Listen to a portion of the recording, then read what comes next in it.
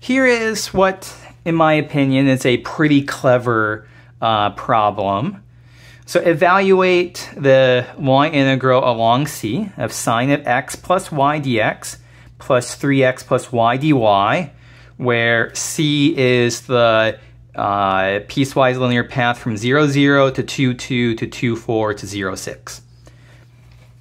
So the first way that we might think about doing this is, is that we might just say, okay, we can parameterize this line segment and calculate the line integral, parameterize this line segment and calculate out the line integral, parameterize this line segment and calculate out the line integral.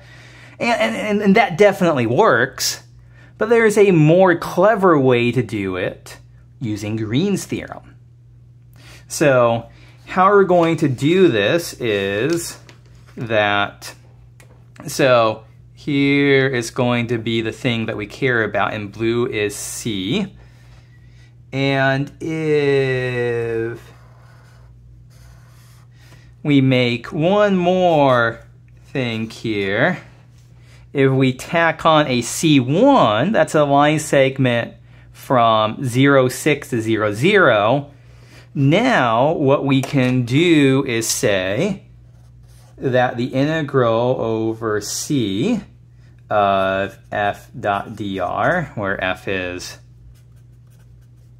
sine x plus y, 3x plus y, plus the integral over c1 of f dot dr. So put plugging these two together, this gives us you know a vector line integral around this entire loop.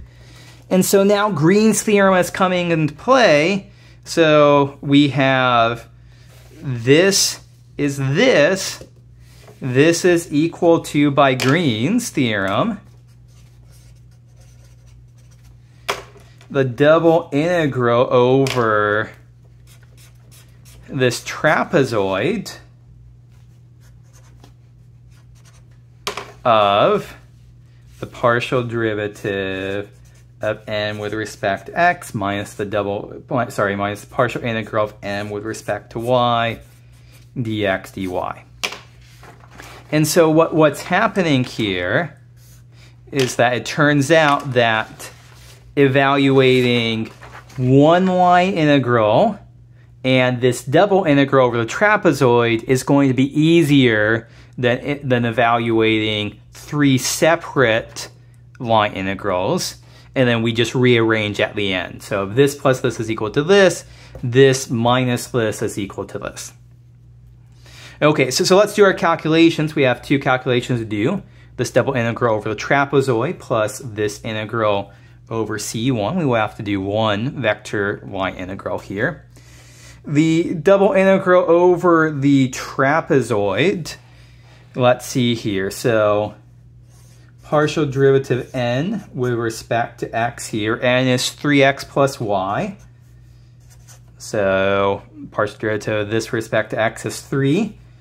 Partial derivative of m with respect to y, to y here is going to be 0 plus 1 is 1. So we are just integrating over our trapezoid r here 3 minus 1 dA. So we're integrating 2 dA. And so this is going to be twice the area of our trapezoid. And, and, let me just point out to you just how nice our calculations are here by, by doing this, we don't have to worry about any sine of x. You know, there would have been sine of x that would have got thrown in there, but that those three vector line integrals, some of them would have been complicated because they had sine in here. This is a really, really, really easy calculation to do. By the way, what's the area of this triangle? Uh, sorry, what's the area of the, of the trapezoid? Area of a trapezoid is going to be, so what we do here is that there are two bases. there are two bases for the trapezoid, base 1 and base 2 here. There is the height. So high school geometry, what you do is that you add the lengths of the two bases together, you multiply that sum by the height, and you divide by 2. So in this case, the area of our trapezoid is going to be base 1 is 6, base 2 is 2. The height is 2, all of that divided by 2, and so we get 8. And so our double integral over r of partial derivative m with respect to x minus partial derivative m with respect to y dA is equal to 2 times 8 is 16. Okay, so one, uh, one integral computed, one left to do. We need to parameterize the line segment from 0, 6 to 0, 0.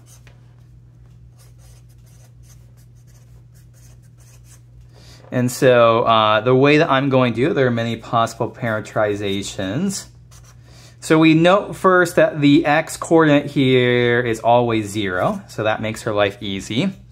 And then the y coordinate has to go from 6 to 0. I'm going to do this by making a 6 minus t and letting t run from 0 to 6. So when t is 0, we're at 0, 6. When t is 6, we're at 0, comma 6 minus 6, 0, comma 0 that checks out. Okay, so what do we do here? We are going to, okay, so this is our r of t here. Our f is, let's just recopy it, sine x plus y, 3x plus y. r prime of t is going to be 0, comma, negative 1 f of r of t, substitute in r of t into here, we get sine of x sine of 0 plus y is 6 minus t, 3 times x plus y. So f of r of t is just going to be, zero, those are zeros, 6 minus t, comma, 6 minus t.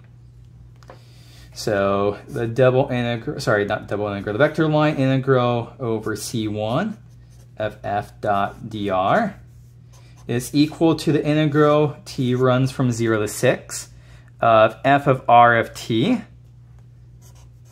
6 minus t comma 6 minus t dot product r prime of t.